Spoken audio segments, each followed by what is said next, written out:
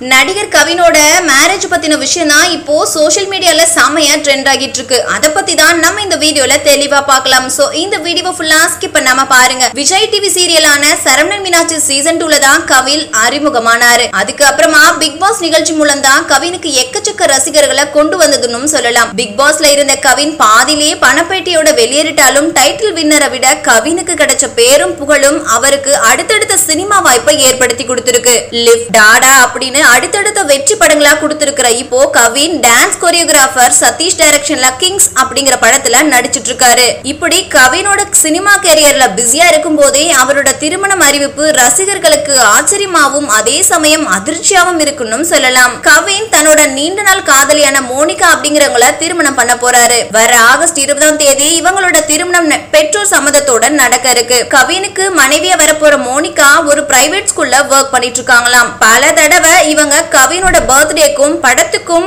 Wish பண்ணியிருக்காங்க Monica. அவங்களுக்குள்ள இப்படி ஒரு ரிலேஷன்ஷிப் இருக்கு அப்படின்னு நிறைய பேருக்கு தெரியாம தான் இருந்துச்சு. இந்த நிலையில கவினுக்கு திருமணம் அப்படிங்கிற தகவல் ரசிகர்களுக்கு மட்டும் இல்லாம எல்லாருக்குமே சர்ப்ரைஸான விஷயமா தான் இருக்குது. கவினுக்கு நடக்க போற திருமணத்துக்கு திரை பிரபலங்களும் ரசிகர்களும் விஷ் பண்ணிட்டு இருக்காங்க. சோ இந்த வீடியோ பிடிச்சிருந்தா லைக் பண்ணுங்க ஷேர் பண்ணுங்க. இது போன்ற இன்ட்ரெஸ்டிங்கான அப்டேட் தெரிஞ்சுக்கொள்ள நம்ம சேனலை மறக்காம சப்ஸ்கிரைப் பண்ணிக்கோங்க.